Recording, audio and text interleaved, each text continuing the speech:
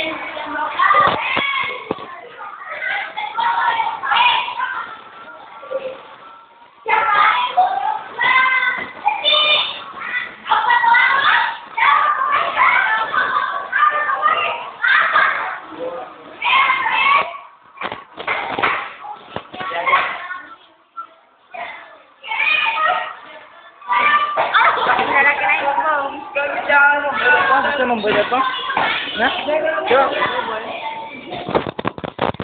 Mag-videoin. Ano ka sex? Kasi pa. Masaya niyo.